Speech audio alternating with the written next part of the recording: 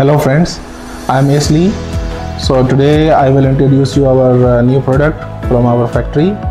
This is our solar energy storage system.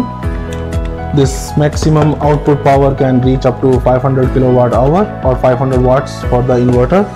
You, as you can see, we have two ports of uh, 220 volt. You can power up your laptop, your TV, your phones, whatever you want to light up we have the DC ports. You can light up four lights at the same time or the DC fan AC fan or the laptop or the phone.